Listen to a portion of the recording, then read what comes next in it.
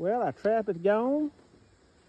The woods is all tore up going up through yonder, so I'm gonna turn the girls out and see if they can figure out what this is. Come on, girls. Go find it. Hunt it up.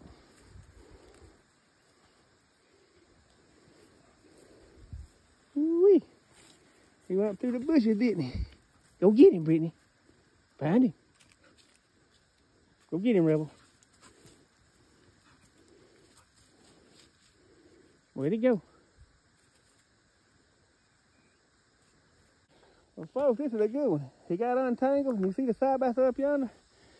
He done went logging down the road. Go get him, girls.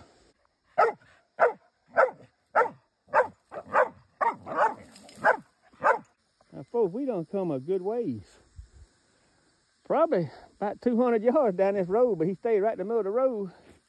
But the girls done found him.